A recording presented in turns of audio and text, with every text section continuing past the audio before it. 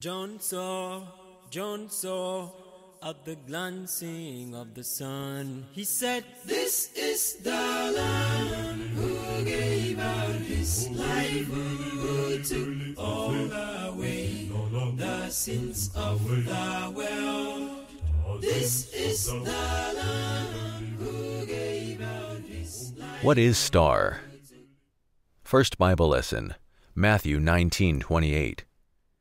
And Jesus said unto them, Verily I say unto you, that ye which have followed me, in the regeneration when the Son of Man shall sit in the throne of his glory, ye also shall sit upon twelve thrones, judging the twelve tribes of Israel. Second Bible lesson, Revelation 19:16. And he hath on his vesture and on his thigh a name written, King of Kings and Lord of Lords. Golden Text, Philippians 2 9 and 10. Wherefore God also hath highly exalted him, and given him a name which is above every name, that at the name of Jesus every knee should bow, of things in heaven and things in earth, and things under the earth. Brethren, these lessons read to you will explain what revelations we have to make to you. The world does not know the meaning of Christ and Jesus. Even the members of Brotherhood do not know the meaning of Christ. Most churches are expecting him to be born in their midst, to be one of their bishops or popes or priests. Who rules now, churches or government? We are witnesses that the authority and the ruler of the town is the government. When a new denomination is to be established in any town, the chief or government is consulted for permission to establish. Men of God are not honored. The ecclesiastical men are not recognized nor honored, but rather the antichrists, called kings, are feared, honored, and worshipped. Only the kings and queens of the world have the royal prerogative over others, even the millionaires. The king is greater than his other subjects. The question is this Are these kings known by the angels, spirits, and the celestial bodies? If they are not recognized, they are fake kings because God did not give them the status they usurp. The only king is Christ, and he is the one kept by God. People wonder why Jesus Christ chose to suffer on earth and even be crucified as a sacrificial lamb. The answer is that he wanted the kingship from God, which is everlasting Jesus. Christ is the king. Christ is the Hebrew name meaning the anointed king of the visible and the invisible world. You can be the son of God and not a king. You can be a king of the moon or sun, but not of the whole universe. The 144,000 followers of Christ are kings who must rule under him. Revelation 14, 3 and 4. For he is the King of kings and the Lord of lords. Jesus was a common Hebrew name, and Christ means king. His name is therefore Jesus the King. Jesus Christ, Son of God, means a repetition like saying Jehovah God, which means nothing more than God of gods. The Efiks call a king Obong. In the Hebrew language it is Christ, and all languages have their own name for king. Christ the King rules everything. This particular king is not elected by man, but by God himself. This king must rule the whole world of terrestrial and celestial bodies, visible and invisible. He is not coming as a pope or bishop, but as a king to rule the whole world. Anyone, therefore, who believes that Christ is the king is saved. The earthly kings cannot rule the flesh and the spirit. There is no other king but Jesus Christ. God has not ordained any other king but Jesus Christ. God has not ordained any other one to be king, and that was why he said, I have not received my glory from man. John 5:41. The earthly kings appointed by men are the causes of the tribulations, sorrows, hatred and envy, wars and covetousness, which have filled the world today. All these kings are antichrists perverting the cause of nature for their own interest. Now is the appointed time for the Son of Man to reign in the world. If people were to believe that Jesus Christ is King of the world, they could have obeyed him and could have been happy about it. No one will be cheated and oppressed in his kingdom. Where will you be if you reject him as your king? Romans 10:9 says, That if thou shalt confess with thy mouth the Lord Jesus, and shalt believe in thine heart that God hath raised him from the dead, thou shalt be saved. The kings of the earth are not happy to hear that there is another king. They don't mind about the popes and bishops, for they know those are still under them. Why Herod massacred the babies. If the three wise men had asked Herod of a bishop or pope born to preach to the Jews, he wouldn't have ordered the massacre of babies, but to hear that a king had been born to rule the Jews was an unpardonable offense. It was treason of the highest order. Matthew 2 1 and 2.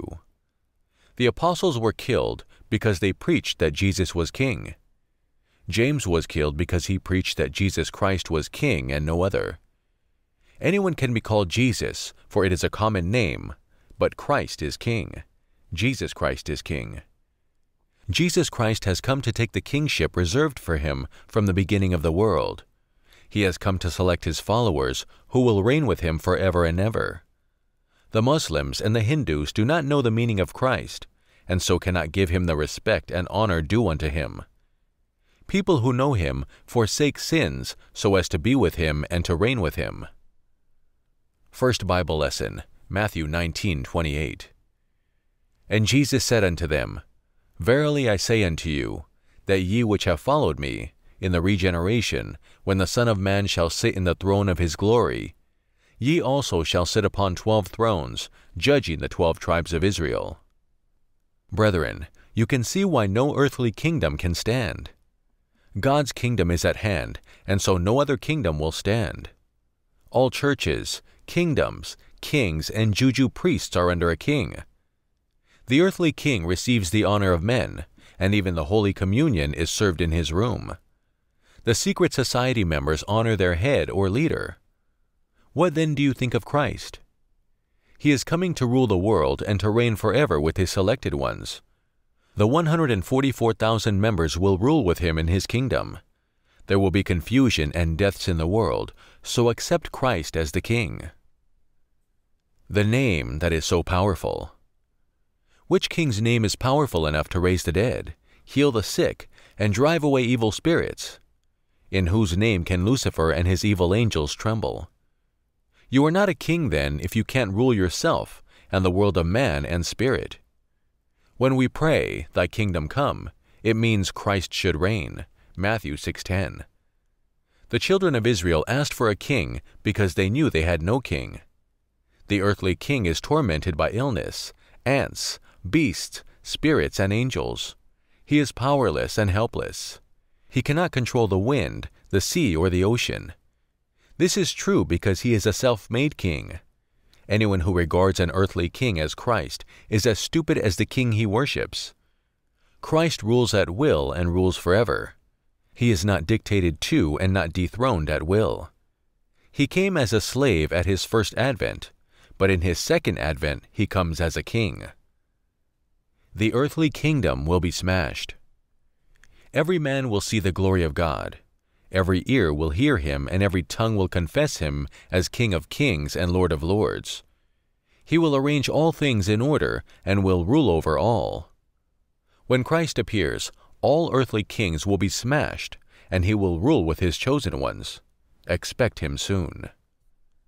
Second Bible Lesson, Revelation 19:16. And he hath on his vesture and on his thigh a name written, King of kings and Lord of lords. Brethren, you can now see that his coming is with majesty and power to rule in his dominion, which has no beginning and no end. Who are you to disobey him and not do his will? There is no other government but his own. The sun, moon, and stars will not shine without his permission. All the wrong things done will be righted the Son of Man is coming to reign as was ordained for him. He will elect his officers, establish new churches and his government. New people will be created who will be stainless, and his name will be worshipped. At his name every knee shall bow and every tongue will confess him as King of kings and Lord of lords. Philippians 2 10 and 11. Adam was first created to rule everything. Genesis 1:28. An angel will not rule, and a spirit will not rule. Man must rule. Christ must rule, and all things must obey him. Death and Hades must obey him. Let us now use the power he has given us to work for him, serve him so as to be elected by him. Soon his influence will be felt everywhere. The King of Kings, the Lord of Lords, is on earth, but has not yet been revealed. If you want to reign with him, make yourself clean. Christ's election does not need money, position, or birth, or knowledge, but holiness. Tell the kings of the earth to humble themselves, for the King of Kings is coming. Tell those living in other planets, the beasts of the field and the birds of the air to be ready to receive him. Tell the angels and the spirits to humble themselves, for the King is coming. Very soon his influence will be felt in heaven and on earth, and all things will tremble at his coming. All creation will seek for shelter, for the King is coming. Behold, all things will be made new. Churches, schools, and universities will have a new start. Governments built on fraud, greed, and cheating will be pulled down. Houses built with corrupt money and government on blood will be pulled down to pieces and a new start made. A family built on fornication and blood will be pulled down. All satanic parents and children will be destroyed. A new king cometh with a new law. A new king has been born into the world, but the world does not know. Golden Text, Philippians 2 9 and 10. Wherefore God also hath highly exalted him, and given him a name which is above every name, that at the name of Jesus every knee should bow, of things in heaven and things on earth, and things under the earth. He is the King of kings. What name is greater than the name of Jesus Christ? You all are Christs, meaning kings, but Jesus Christ is the King of kings and the Lord of lords. Those who are playing the fool in the world should be serious, for the King is coming to inspect their work and will not spare.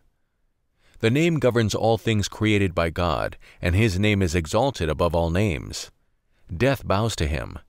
He is the flesh and the spirit. There is no other way of salvation except through the Lord Jesus Christ. Why do you go back to the world when the Lord is going to destroy it? His scepter is love, sympathy, humility, patience, and goodness.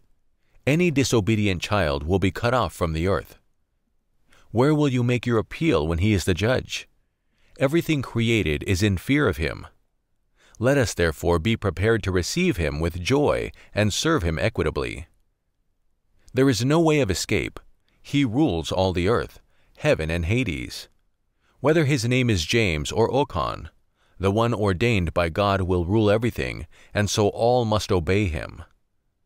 Those who have ears to hear, let them hear. May the Lord bless the preaching of his holy word. Amen. Brotherhood of the Cross and Star by leader and teacher Olumba Olumba Obu. Compiled by George Morales. This life we took all away the sins of the world. This is the Lamb who gave out his life, who took all away the sins of the world The sins of the world.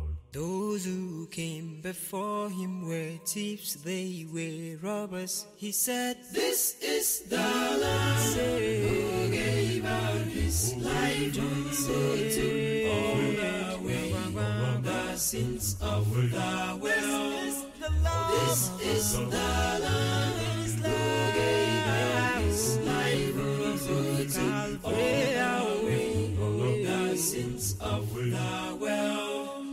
sins of the world. Those he calls are those has chosen.